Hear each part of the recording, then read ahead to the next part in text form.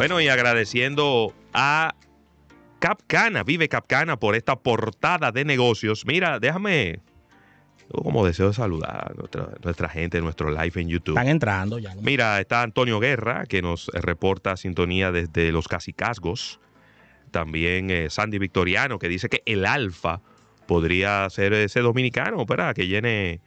O sea, que el Alfa siempre hace mucho featuring. Entonces se convierte Sí. como en un show como medio, me- Medio medio, festivaleado. Sí. Medio festivaleado. Ángela Ventura.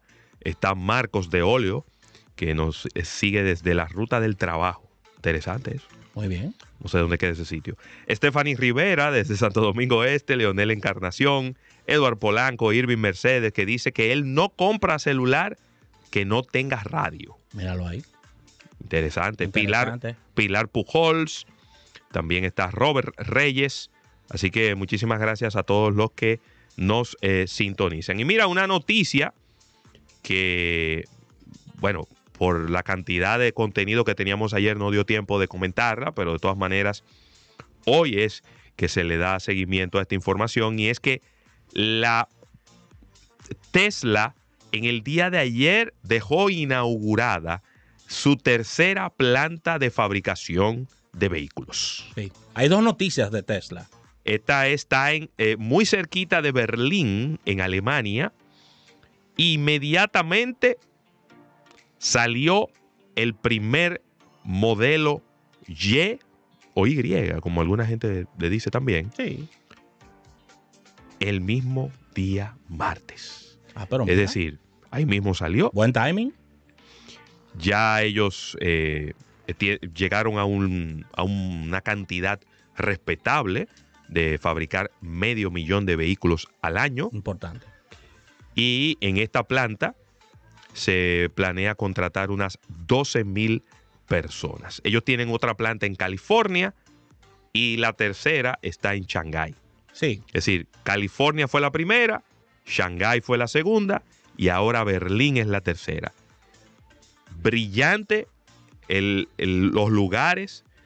California para servir el mercado de los Estados Unidos de la costa oeste, que eh, es la zona donde más vehículos eléctricos hay en los Estados Unidos. Sí. Shanghái para servir el mercado de vehículos eléctricos más grande del mundo, que está en China. Y ahora Alemania para cubrir el mercado europeo. Suplementando esa noticia, ya entrando en Latinoamérica, eh, se hace nada más y nada menos que Avis, este importante rent a car, se hace el rent a car oficial de Latinoamérica para Tesla, en un acuerdo firmado por, por ambas partes. Y ya se pusieron de acuerdo, porque ellos estaban como... Sí, se pusieron de acuerdo ya. Ya es un hecho. Arranca. Este acuerdo se firmó en México. Tú sabes que Elon Musk tiene mucha, mucha incidencia en lo que es México, por lo que significa para la parte automotriz. Avis también tiene grandes operaciones allá. Así que se convierte. eh, yo no quiero decir con esto que estas otras casas matrices, otras marcas, no puedan alquilar vehículos Tesla, pero quien es el oficial, Sí. el, No, inclusive eh, ellos hicieron, una importante ellos compra. hicieron un acuerdo, Sí, un acuerdo. de como una compra programada de una cantidad que ahora no recuerdo la cantidad de vehículos que era, pero era mucho. Pero ya, ya, ya es oficial el acuerdo porque ellos tenían unos inconvenientes por temas de entrega, Sí. temas de contrato también, y ya tienen el sello de ser el, el rent-a-car oficial de la marca Tesla. Eso es, eso es importantísimo, Sí. señores, porque que eso es un tema, ahí hay muchas cosas, ahí hay branding, ahí Avis le puede sacar muchísimo provecho a eso, de- dice- diciendo en su comunicación que se están, eh, eh, eh, están colocando sus vehículos ya más todo el eco. mundo sale beneficiado. Porque todo el que quiera probar un Tesla antes de comprarlo, lo único que tiene que hacer es alquilarlo en Avis. Tres días Ya, y ya. ya. ¿Qué mejor prueba que eso? Mejor prueba que eso. Ese es el mejor test drive que puede haber. Mejor test drive. Y en el caso, ya para cerrar y pasar contigo, en el caso de las ventajas que tiene esto es que vas a encontrar mayor cantidad de modelos, porque quizás si vas a otro rentacar, te van a decir, bueno, nada más de Tesla tenemos este, por ejemplo, este modelo. Exacto. Con ello van a encontrar todas sus variedades. Mira, déjame hacer esta, esta aclaración y esta fe de rata, porque dije que Tesla vendió 500 mil vehículos el año pasado. No. Tesla vendió, para ser exactos, 499.550 vehículos en el 2020. Y en el 2021 vendió 936 mil vehículos. Es decir, casi el doble. Casi el doble. Casi el doble. Esta planta que acaban de inaugurar en Berlín, bueno, en las afueras de Berlín, tiene capacidad de producir 500 mil vehículos al año. Eh, quiero, 500 mil vehículos. Es decir, que si cada una de estas plantas puede producir 500 mil vehículos, teóricamente Sí. Tesla podría fabricar un millón y medio de vehículos al año. Sí, y quiero poner a, a nuestro público en contexto porque se han producido con Tesla situaciones de temas de recall. Señores, a medida de que Tesla vaya colocando mayor cantidad de vehículos, los recall van a seguir Sí, pero que los recall, pero que, lo- pero, pero que Tesla va en coche con los recall. Sí, Porque que los recall de Tesla en muchos casos son conéctalo a internet, vamos a bajarle una actualización. una actualización. Eso es.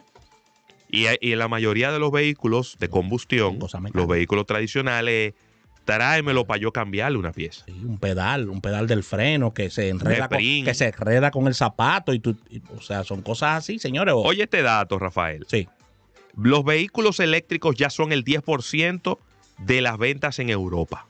ah, pero muy alto, ya. 10% de las ventas en Europa y ya sobrepasó la categoría vehículo eléctrico, ya sobrepasó a los vehículos diésel en Europa. Sí, el diésel va de salida, Sí, sí, sí. de salida rápida. Volkswagen tiene el 24% del mercado de vehículos eléctricos en Europa. Pero muy alto. Es el líder. Sí, ya veo. En el segundo lugar está Tesla con un 13%. Esto Bueno. de acuerdo a LMC Automotive. Esto, esto- esto es una carrera de, de tiempo y de resistencia, no de. O sea, eso puede cambiar también en un futuro. Tesla vendió 452.900 vehículos eléctricos en todo el planeta en el 2021. Si se fijan, es la mitad de lo que vendió Tesla en el mundo entero. Si sumamos total, Tesla vende el doble de lo que vende Volkswagen. Pero Volkswagen concentra todas sus, la mayoría de sus vehículos eléctricos en Europa. Por eso tiene el 24% del mercado. Yo puedo afirmar que en la República Dominicana del año 2020 al, perdón, del año 2020 al 2021, los Teslas que hay, sobre todo en Santo Domingo y en Santiago, se han duplicado. Sí, claro. Se ha duplicado, señores. Ya ver un Tesla es algo totalmente común. Los otros días venía para la emisora y tenía tres cercanos. Tres, casi uno al lado del otro, los tres. Sí. Es muy común ver a Tesla, que Tesla en el caso de República Dominicana tiene, tiene un posicionamiento, diríamos que como que le ha favorecido, porque si bien es cierto que es un vehículo eléctrico, también la gente lo percibe como un vehículo de lujo, que ellos no están todavía en esa categoría, ellos son un vehículo eléctrico de mucha tecnología. Y, y- y- y- y diríamos que un gama media alta premium, pero no un vehículo de gama alta como un Mercedes o algo así. O sea, Tesla no es eso, ¿eh? Tesla no es eso. Y ese, y ese no es su posicionamiento tampoco. Pero aquí, aquí lo se percibe así. Mira. Ravelo, y moviéndonos a noticias de show business, marketing del entretenimiento. Atención, Víctor Rechams. Mm. La industria musical bate récords de ingresos y son los oyentes de streaming los causantes. Los ingresos de la música alcanzaron una cifra de 25.900 millones de dólares, de acuerdo a un, informe publicado por la entidad, la IFPI. A nivel mundial, la industria logró ingresos récords y estos ingresos eh, se, debieron a y fueron impulsados al registro de- de estos temas de streaming que incrementaron en un wow, en un 21.9%. Eso es mucho. Y de verdad que los ingresos se han disparado, experimentando, eh, según nos dice Recording Industry Association también, quien menciona que los envíos aumentaron a 316 millones de, en el 2020 y en el 2021 fueron 46, 466 millones. Así que tremenda esta noticia. Tras la llegada de la pandemia, el confinamiento experimentó que plataformas de streaming como Spotify, Apple Music, YouTube Music se disparara su consumo y aumentara el tema de consumo a través de estas plataformas. Así que ahí está. Eh, el streaming global representó el 65% de los ingresos de la música. El 65% del ingreso de la música fue streaming. Eh, fue streaming. Y el total, vuelvo y repito el monto, 25.900 millones de dólares, cifras récords en toda la historia de la música. Wow. Así que ahí quise traer esta, esta información. Mucho dinero, ¿eh? ¿Eh? Mucho dinero moviendo la música. Sí, Es la realidad. ¿Y qué fue lo que pasó, Ravelo, con Kit Kat y en Rusia y los amigos de Nestlé? Que han tenido que. Que han tenido que. Nestlé deja sin Kit Kat y, y Nesquik a Rusia. Y Moscú está reaccionando con relación a esto la compañía de alimentos. Eso no va a terminar bien, tú sabes, ¿verdad? Que eso no va a terminar bien. Sí, porque yo he querido hacerlo como, como por pedacito el asunto. No, lo que pasa es que tú tienes una empresa como Nestlé que vende alimentos, eh, está en una situación muy delicada. Con varias plantas. Frente a este conflicto. ¿Por qué?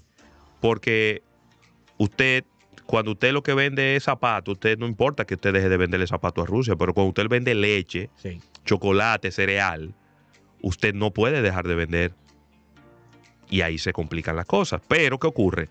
Que hay productos que no se fabrican en, lo, en, Rusia y que no se fabrican en ningún país que sea aliado de Rusia en este momento. Entonces, ahí mismo empiezan los bloqueos. Así es. Ahí mismo empiezan los bloqueos. ¿Cómo, cómo, yo, cómo yo logro que salga, que, eh, eh, que entre mercancía en Rusia en este momento de cualquier parte de Europa? Es complicado. Mira, la compañía de alimentos suspenderá la venta de numerosos productos entre los cuales están estas marcas emblemáticas. Y luego de la presión del presidente de Ucrania, eh, de este tema de, pausar la comercialización de productos esenciales hacia Rusia, ha venido una oleada de productos, entre los cuales está eh, Nestlé con los ya mencionados. Y según nos dice Reuters, eh, ya en Rusia no se vende gran parte de los productos que comercializa. Nestlé eh, en el 2021 comercializó productos en Rusia que ascendieron a casi 2 mil millones de dólares. Oye, qué negocio tan perdiendo. Y eh, esos 2 mil millones de dólares son productos, como tú acabas de mencionar, no fabricados en Rusia, sino que se consumieron allá. Lo que, tú acabas de decir, lo mismo que, tú acabas de decir. hay que entrarlo. Exactamente. Hay que entrarlo. Rusia, entonces ahora mismo Rusia tiene un bloqueo de, prácticamente todo Europa.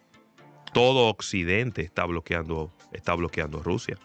Así que. Entonces, ¿cómo tú logras? No, no es culpa de Nestlé. Probablemente desde esos mismos países no le dejan exportar hacia Rusia. Es cierto. Claro, Nestlé es que va a pagar, es que va a pagar los platos rotos, pero al final Nestlé no tiene nada que ver con eso. Ojalá Nestlé seguir vendiendo. Parece que Parece que en, Rusia se comía bastante Kit Kat y Nesquik, que ellos están. Eh, esas dos. Sí, yo no creo que Kit Kat sea un, problema mayor, porque Kit Kat es un chocolate, es un dulce, es una. No es un producto de primera necesidad, pero Nesquik no. Nesquik es chocolate y es un producto dirigido a niños. Dirigido a niños. Entonces ahí viene, ahí empieza la, la fricción. La fricción. Y ojalá, ojalá que no le venga sanciones a lo interno de Rusia a Nestlé por esa situación.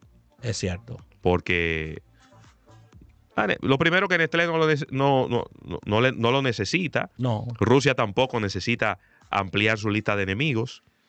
Vamos a ver cómo, cómo, se ponen de acuerdo entre ellos Mira, vamos a agradecer a los amigos de Capcana, Vive Capcana, por esta portada de negocios del día de hoy. Vamos a un break comercial, al retorno venimos con más en Almuerzo de Negocios. Luego de los comerciales, seguimos con más, más almuerzo de negocios.